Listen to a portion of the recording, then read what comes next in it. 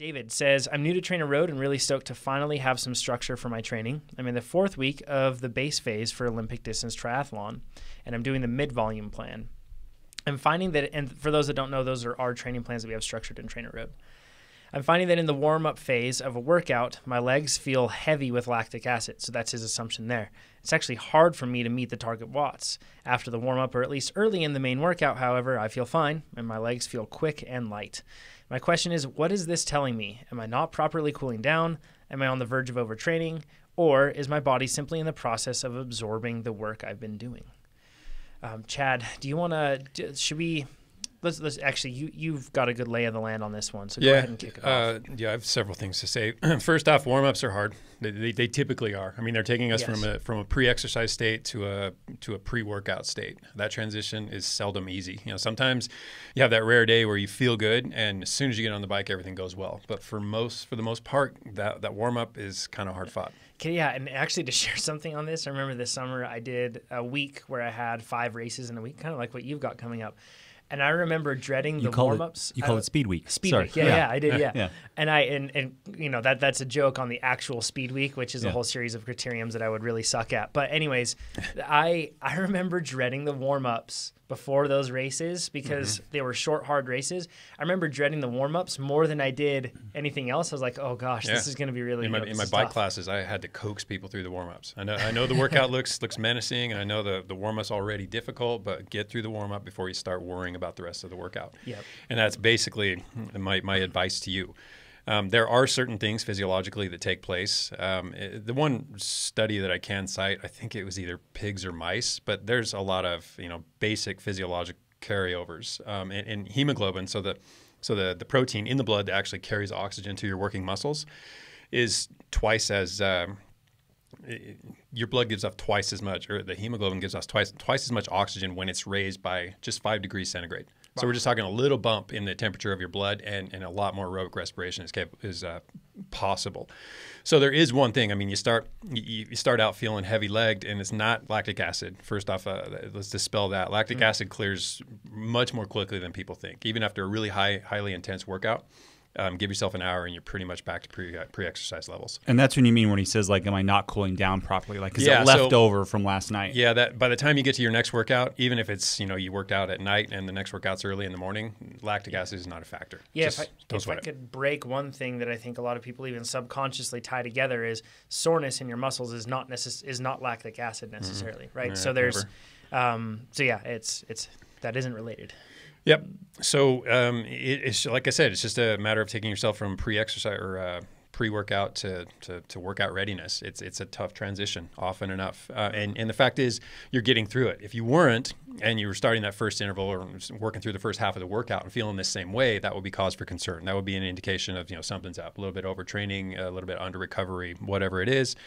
That's not that's not what you're describing here. You say once you get through the warm up, you feel better. That's why we do a warm up. We want those first intervals to be as productive as they can be, always understanding that those intervals may not be as productive as the as the later ones. Mm-hmm. So even when you're into that first interval or two, you're still effectively warming up. And usually, so give it time. You've designed the workouts too, where never does it go. The first workout is the hardest interval of the set. Yeah, yeah. The first set, you're saying? Yeah, yeah, or the, yeah, the, the first interval. Uh, yeah, the first. Sorry, after the warm up, the first interval is never like if you have five intervals at X wattage. Yeah. yeah. The first one's always like. And that's by design. Yeah, because I understand that, especially with a, a 60 minute workout where you're cramming a, a, warm up, a main set, and a cool down all into that single hour. Mm-hmm. That I, I, it's it's implied that that first interval is going to be a little more taxing in terms of the fact that you're still warming. Yeah. And and I even a lot of the times when I put the workout text in there, I will say if this if this first interval is really hurting you, dial it down a little bit. You can always bring it back up yeah. once you've furthered your warm up. If I had unlimited time, Mm-hmm. I would do like oh, an yeah. hour easy warm. I would like, you know what I mean? Like yeah. you would warm up for your warm up. Yeah. Yep. And you could really stretch it out, and you would feel like no pain. Like it would yeah. just, I mean, it would lower the RPE for the warm up and oh, the first interval. Sure. Oh yeah, a lot. Ideally, I would like people to be able to spin for 15 to 20 minutes. Just get on there at 40, 50 percent of FTP and just just spin the legs. Yeah, yeah. if you then the you time, do the warm right? up. Yeah, and that's the thing. You know, we're all we're all constrained by time to some extent. Or you can just harden up and get through that little because usually the warm up's yeah. not that. I mean, Yeah, it's I know what you mean by that. You're saying push through and Push trust, through. right? Yep, push Yeah. through Don't, and don't trust. let it discourage you though. Don't let it derail you psychologically for the rest of the workout. It's not necessarily indicative of the way the day is going to go. I look back through my, my workout notes and I, I keep like ride notes after I do each one, TrainerRoad. And so many of them say, I felt bad at the beginning Yeah. and then I felt got into a rhythm. Yeah. And I actually look at yours too, Jonathan. Yep. Same thing. I felt bad at the beginning, then I felt to a rhythm. Yep. And you just push through. happens. Yeah, you know something that I would also say. You, you mentioned that you're in the fourth week of the base phase. I've noticed that as as months tick by, and I'm very structured with my training, hmm. and usually when I'm you know when I'm when I'm following TrainerRoad workouts, usually those workout or those warm ups are pretty short, and I'm a time crunch nor, or I'm a normal athlete like the rest of us, so we're time crunched, right? So as a result, you know, I start to get used to those short warm ups, and you'll be surprised mm-hmm. if they're difficult now. I always find that you know, by the time I get into the build phase or even toward the end of base, and sometimes maybe it'll take a long time to get into the specialty, but you'll be used to those shorter warm ups. Like, I do think that there are certain trends, you know, as you age, they say that sometimes you need more time to warm up. Seems to be true. Yeah, Um, I, I, I feel it. Yeah, and, but at the same time, I think it is somewhat trainable. Like you can you can get used to a shorter warm up, um, but it's it's certainly if you have the time to do more, great. I always notice, for example, like uh, I did a short ride. I'm trying to take advantage of every moment of dry dirt that we have right now on the mm-hmm. weekends, right, with mm-hmm. long Oh, rides. And this weekend go, going out, one of the rides that I had, the plan was to start, and it's like a super steep, mile and a half long climb with like 38 switchbacks, and you climb 800 feet the absolute worst way to warm up, right? Mm-hmm. Um, so I made a conscious decision that I was going to ride around beforehand before I got to that. So Yeah, and that's if you can tack on even five minutes to, to your warm up. I, I said 20 minutes would be ideal. Well, That's ideal. If you can just get in an extra five minutes of easy noodling and then start the workout, work through that warm up, even that'll have an impact. A wee- easy way to do that too, if you have a, a dumb trainer, you can just kind of spin for five minutes and look on your phone. Yeah. But um, if you have a smart trainer, usually if you don't have Trainer Road Pair and you have like a, the app closed, just the natural resistance will be enough. right, Like like without the thing, like without it connected to it, really like turning on the magnets in it, or the I'm not really not magnets, but the electrical. whatever the Whatever the resistance resistance- system Yeah, is exactly. on those. Yeah. That'll be enough, and then you can do that for five minutes. Or, like, I don't really. I'm always like, uh, it's you know, this it's 4:22, and I need to get on the bike by 4:25 Yeah, in order to get reality. home by 4:10, Yeah, or you know what I mean. how it goes. Yeah, that's reality right there. Um, so uh, all of us. So actually, I, yeah, and I think Chad does too. I, I'm pretty big on structured warm ups before I race. Mm-hmm. Nate, you've been doing some cross racing and other things recently, and you've refined what you feel like is a well, it's a constant process. Mm-hmm. Yeah. But you've you've got a warm up that you're using right now, right? Uh, could you describe a bit the protocol that you follow? Yeah, I've only done it. I've only done this warm up, I think, twice. Cross Okay. Vegas and another race, but I felt fantastic when the race started.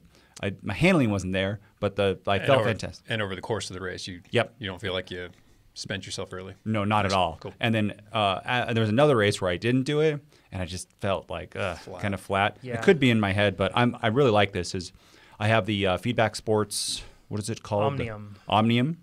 And if you look at my Strava, Nate Pearson, Yep. um, there is a picture of it. You can see the setup. Add me. wink, wink.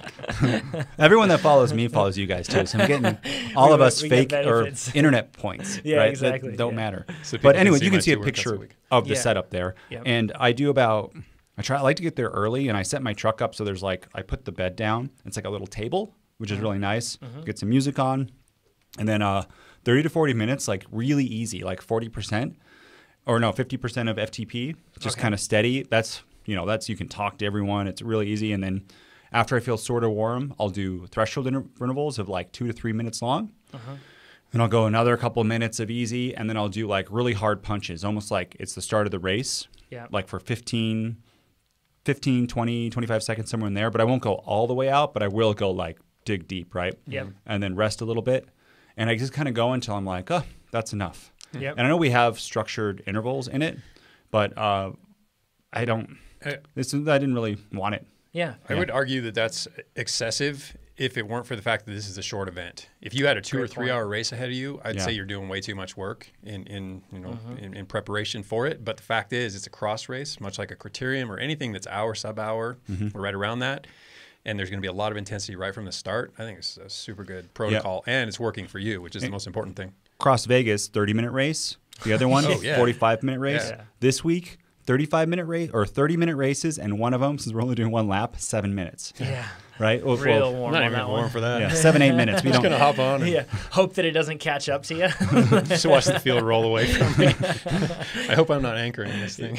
You're right, though. If I was doing a, a long uh, road race or something, I wouldn't do this. Yeah. Yeah, there's there's somewhat of a and, and I don't know the science necessarily behind this, but it's more of just a saying that that's commonly um, repeated is that there's an inverse relationship between race length and warm up length. In other words, if you have a, a long race, you don't necessarily need a long warm up. Yeah, science reminds. I mean, it just what works. I mean, Mm-hmm. y if you go out and bury yourself in a warm up and then you roll out for some neutral start for three miles, what, what was all that for?